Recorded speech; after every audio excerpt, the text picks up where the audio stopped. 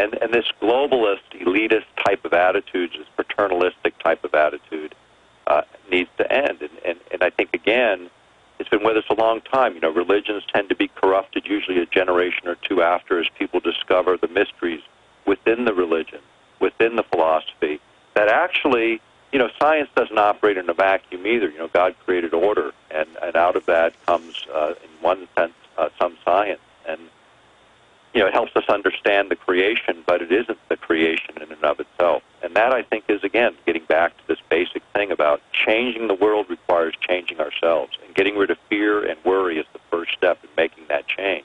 And then opening up our eyes uh, to the things that we can do and acting on them and seeking. I believe it's important to seek the face of God, whatever that means to you. Um, I think that is incredibly important. And in the seeking is the finding.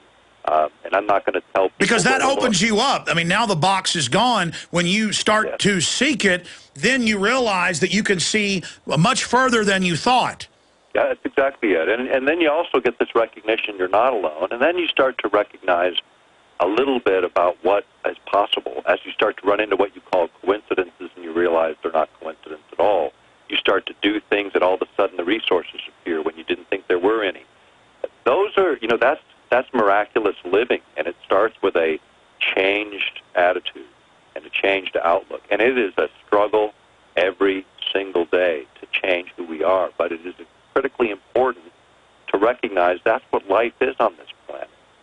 From the time we're born to the time we die, it's an evolution. It's a recognition of our strength. Exactly. The globalists try to create an artificial system where on the surface there's no struggle, right. but in that is actually the death, you know, of uh, your individualistic drive. It is through the struggle that we are empowered. Absolutely. And in fact, that's our best learning environments. And, you know, in the one sense, you know, we're, we're going through a rough time in the economy.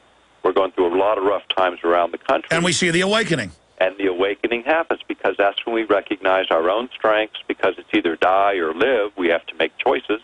And then we start to recognize the neighbors that we have around us who we never even saw before, who, who have their hand out and always did. Uh, that's where the change starts. Well, beautifully said. Let's take some calls and do one more short segment because Doc's got to go at 30 after, and I really want to get to these calls, but what a profound interview. And I talked to the Doc. Uh, it was his idea, but it's funny. At the same time, I've been thinking about folks to fill in more often when I'm working on films or going out of town, and he just volunteered, hey, I could fill in sometime. So we're getting a great list of folks, the Health Ranger, Dr. Nick Begich, uh, Paul Joseph Watson, uh, Lew Rockwell. Uh, let's go ahead and talk to uh, John in Colorado. John, you're our first caller for Dr. Nick Begich. Yes, hi. How you doing? Good. You got a question for him?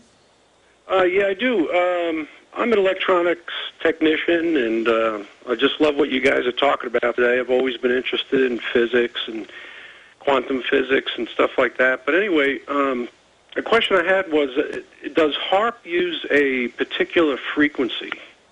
Yeah, it, it does, and it, it, it's a it's in the high frequency range, but it covers and because you have the technical background, you can manipulate the primary signal and create a secondary effect, which actually gives you the range of 16 decades of frequency, which covers everything from ultra low to visible light. Is that the modulation? Yes, this is by modulating it or pulsing the signal to create varying effects, and the coupling with the ionosphere to utilize it for creating effects. But it's essentially a high frequency transmitter. If you you can go to the official HAARP website and get the specific frequency. I don't have it right in front of me, but again, it's it's the narrow band of high frequency that's used then to create this larger effect. Going back to that question, I never had time to jam in, and then we'll get a, another quick one and go to break, come back with uh, other callers. But why are so many of these towers near the poles? I mean, is oh. it easier to manipulate there? Well, you want to be close to where the magnetic field lines intersect the Earth, which is at the poles, and you also need a high available source of energy. And of course, uh, in Alaska, we have the uh, oil and gas fields of the North Slope. 25% of all the undiscovered oil in the world is in the uh, Arctic. And so that's important. But the magnetic field line locations is the critical element. The closer they are to the ground, the easier it is to inject energy into them, uh, much more efficient. Is there any evidence they're actually sucking some type of energy source out of the polar vortex? Well, that's you know that's a question that has not been adequately answered, and there's really a question of whether they can tap energy out of the ionosphere, which is a yeah, because you I mean you have those magnetic fields correct coming in at that point into the atmosphere and into the pole. We'll be right back with more calls. Great question, John.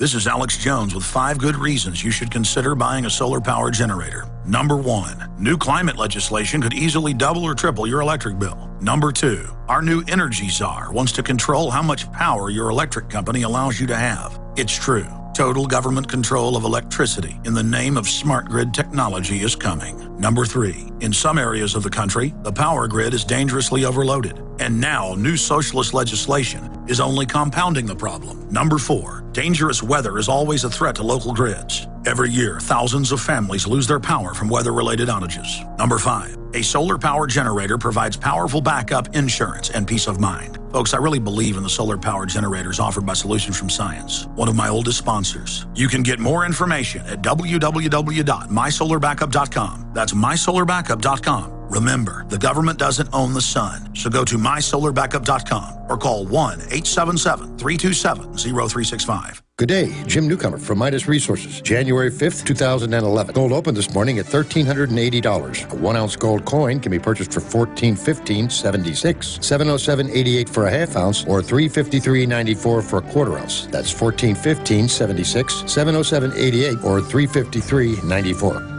Again, the Congressional Budget Office sounds the alarm, warning of Greek style U.S. debt crises. CBO is drawing a parallel between U.S. economy and the Greek economic meltdown debt to GDP climbing to unfamiliar territory, and deficits rising to unsupportable levels. Hi, Ted Anderson. The Federal Debt and Risk of Financial Crises document the CBO has published is a must read for every American. Covering the risks of deficit spending, aging population, and rising interest rates spells economic disaster. Call today at 800 686 2237. I'll send it free. Again, call 800 686 2237. Ask for the CBO document. Call 800 686 2237. Hundreds of nations have fallen to tyranny in the last century alone. This is our last chance to not relive history. As we're finishing off this agenda, uh, they'll be pulling the rug from underneath Americans at home. I have tremendous influence on our president and Congress, and they really are calling the shots. I think it's incumbent upon all of us as American citizens to pay attention. Fall of the Republic identifies the enemies of our nation, the criminal offshore cartel, hell bent on destroying sovereignty and on its ashes constructing world government. Tim Geithner, Bernanke, they're arsonists. They're asking for more matches. And the Congress is saying, who do we make the check out to? Today seems like nobody does care. And right now in Washington, D.C., we have seen a fall of the Republic. Get your copy of Fall of the Republic on DVD at Infowars.com or watch it online right now in super high quality at PrisonPlanet.tv. Hello. At OfTheField.com, we strive to empower you with wild food preparedness. We get lots of amazing positive feedback, most of which we feature on OfTheField.com. Here's a small sample of all that people like you have to say about the wild food experience. It's inspiring for many who are affected by the recent downturn of the economy. I already knew a bit about foraging and edibles, but you take it to a whole new level. A thousand thanks to you for all that great knowledge. It was empowering. When I was in the Navy, I went through a couple of quick land survival classes. Thank you for being an inspiration and for all the work that you do. I really appreciate the depth and detail of the information. Thank you so much. Much love and respect to you from all of us here in the boonies. Thanks again. Knowledge is power, and that power brings peace. Folks, thanks for letting us help you get back to basics. Read all of the testimonials at ofthefield.com. You can order online for you and your loved ones or call 1 888 51 Eat Free to share in the secret. Crashing through the lies and disinformation. It's Alex Jones, only on the GCN Radio Network. There's been big developments on that top Bush aide. Looks like mind control. Incredible developments on that front. Uh, the guy found dead in the landfill. That's coming up in the next segment. Only got five minutes left with Dr. Begich. I've hogged him for myself, but we're going to your calls with quick questions. Uh, who's up next here, John? Mark in Minnesota. Quick question or comment for Dr. Begich. Uh, yes, doctor. I was wondering your take on. Uh, I don't know. I didn't catch the whole show here, so I don't know if you've covered this. But uh, was wondering about the the Gulf oil spill and if uh, some of the toxins could be coming out of the Gulf and coming onshore and uh, developing some kind of a clouds of gas or toxins and and killing the birds and animals down there. That's a good question, Doc. Uh, Great question. I don't, I don't have any specific information on that, and I've not I've not seen anything on that. But you know, we did see a huge release of toxic material there, similar to what we had at the Valdez Exxon spill. But we didn't see those kinds of effects associated with our spill here. Um, so it's hard to say. I, I think time, the, the judge is out on that, but it's certainly a, a good issue to raise because it, it did bring in a lot of toxins that weren't in the environment before. Well, we we know when they say all the seafood's safe, the tests have showed it's not. They've been No lying way. about that. Mark, great question. Bill in Florida, you're on the air with Dr. Nick Begich. Hi, Alex. Um, I got a uh, question. How do I protect myself against a uh, cell phone tower that is 200 yards away? Ah, there's not a lot um, you can actually do. I mean, short of creating a, a Faraday cage and shunting the energy away from you, and that's not a practical solution. Uh, I can tell you up to 1,500 meters, cell towers have a biological effect. That was documented years ago. I, I lectured with one of the scientists in Switzerland some years ago on this same subject, and that's the, the, the, the range is 1,500 meters, which is you know quite a bit further out than you are. Um, the greater effect is with young children or developing children. Uh, they tend to be more affected by this. If you remember the old EPA studies of power lines, when they involved children, they showed all kinds of negative effects. So they redid the studies with just adults and showed no effects. Um, that's important. Uh, the only real solution is reconsideration of your location uh, if, if you feel it's affecting your health in a, a deleterious way. And we see this across the spectrum with fluoride, many times worse for children. It Right. seems radiation, many times worse. I guess it's something to do with the fast, you know, growing, fast dividing cells. Right. We know that radiation in adults targets uh, the gums, the intestines, fast growing cells. With a child, the whole thing's fast growing. That's exactly it. And and then for other technologies like cell phones, where you're placing them against your head, the skull thickness is half at, at, at age five of, a, of of an adult, and so or less than half. So you have a lot more energy transiting into the brain, and so there's lots of physical characteristics with children that affect them much differently uh, than adults, particularly when you're considering these new sources of, of concern. Good question, Bill. Donna in Louisiana, you're on the air worldwide. Yes, hello, Alex. Yes. Okay, um, nice to talk to you. Um, thank you for all you do, and thank you, Dr. Begich, as well. Um, I was wondering about empathy genes, uh, pertinent to what you were talking about earlier. Um, they did some studies several years ago, I don't know, five, ten years ago, I remember, uh, wondering why at the time they were interested in such a thing.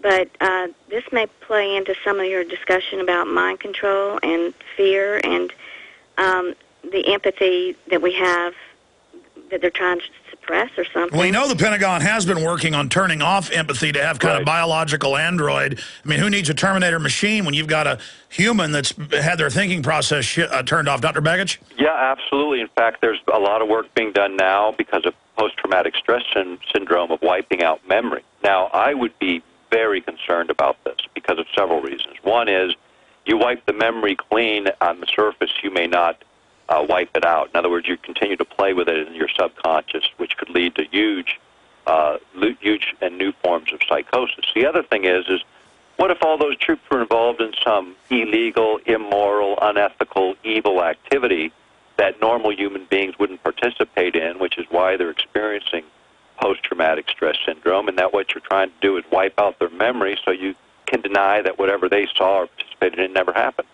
That's that's my Well, that's like studies show that people don't get very depressed when they see killing as something that was in defense or righteous, but your body, your brain actually attacks you uh, if it thinks you've done bad. Even if you've rationalized consciously, your Yeah. subconscious wants to kill you. Yeah, and it's it's you know I think we're playing in an area that is very very dangerous. You know, trying to uh, wipe out a memory rather than deal with what it is that has changed a person. You know, we do the same thing with in this country every day with with chemicals issued by doctors instead of people sitting down with counselors getting to the root of their problems. Um, now we want to just wipe out the memory so we can excuse bad behavior. I don't think it's a good idea. Doc, I won't keep you any longer after the break. Just We'll just do two minutes and plug Earth Pulse uh, and uh, uh, your work and how folks can support it. And we'll let you go. Then I'll get into all the big news, folks, and more of your calls. Stay with us. We'll be right back. Infowars.com and their side, of course, we'll give you on the other side of this break. We're on the march. The Empire's on the run. Alex Jones and the